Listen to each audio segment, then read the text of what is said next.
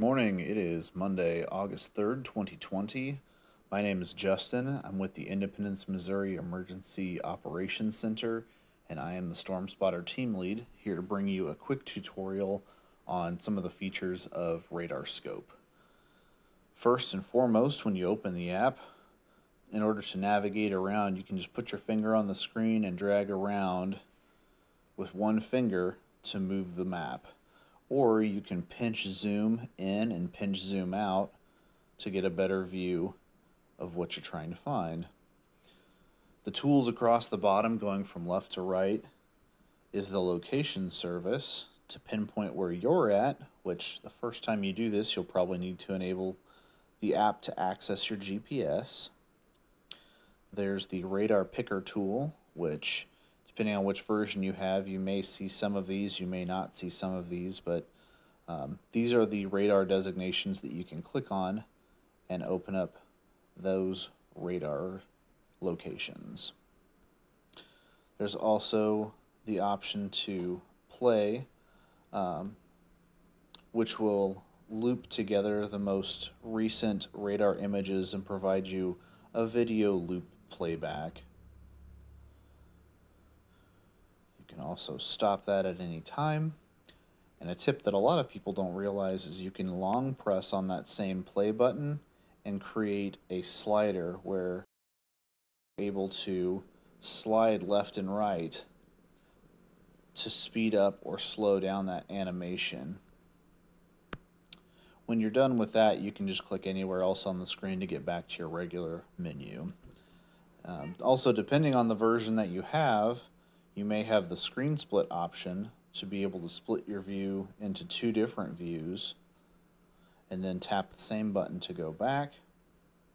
There's the share button which option the options are save screenshot, share screenshot, submit MPing report, and submit spotter report. Screenshot is pretty self-explanatory. Um, share screenshot will flash your screen and give you options to send it to different either uh, people or applications. So, like if you wanted to share out to Twitter or Facebook, um, or send an SMS text to your friends, uh, or for us, we can also send that to Slack or Voxer.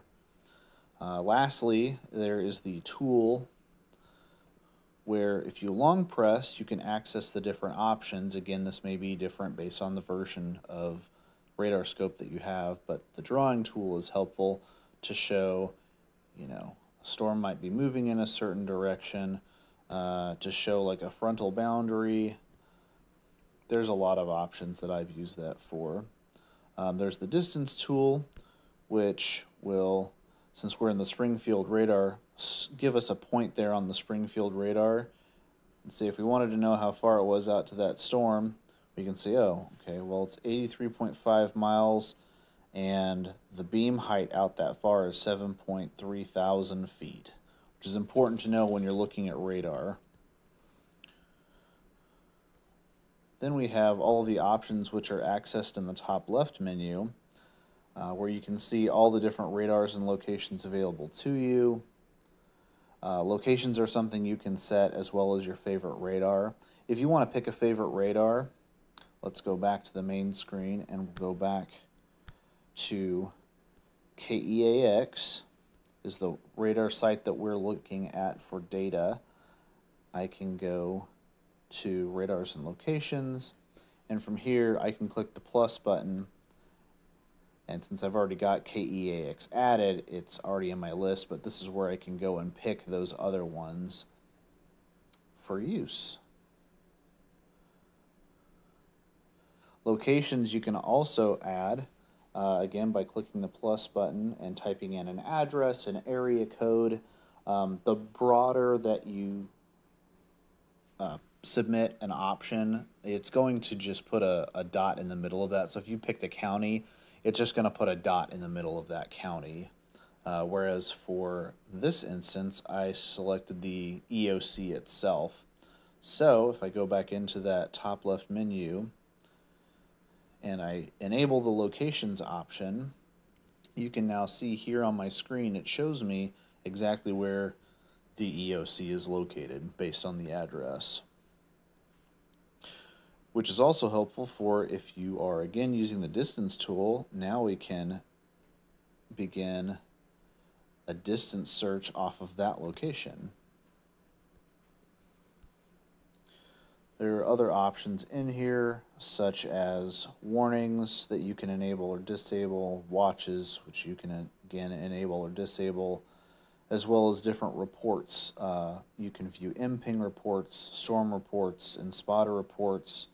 We don't currently have any in our area, but if we zoom out up to Chicago, I know they had a water spout notification today. So these little round dots are those types of notifications. You can click on those to get the brief information or the eye next to it to get the full details. There's also polygons, which you should probably be familiar with most other weather apps. You can click anywhere within the polygon to see what that is, when it expires, and then again click the eye for the full detailed information. Uh, lastly, there are storm tracks, which is one of the options over here in the left.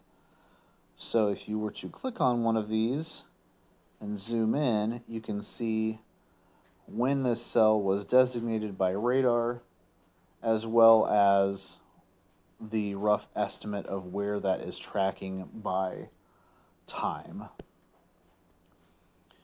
There are a few other options over here where you can, again, enable or disable your locations. Uh, you can turn on and off mesoscale discussions. Uh, you can turn on and off spotter locations. You can even turn off cities and highways if you wanted a cleaner view here. So say if we just wanted a map view, we didn't want everything being cluttered up with the highways, we can turn that off and simply see county outlines and city out or and uh, city names. Uh, some also op offer a contour, which can be a hail size, hail probability, or azimuthal view. Uh, I usually leave that off. Uh, but for the outlooks, I will typically set that to categorical, which when you zoom out on the national view here, you can see those convective outlook zones. So you've got non-severe, you've got marginal, We've got a slight risk out here over on the east coast between Virginia Beach and Charleston. And once you've got everything set up and configured, then you can begin to use radar scope to better track weather information and know where you are at in relation to that. Thanks for joining me today.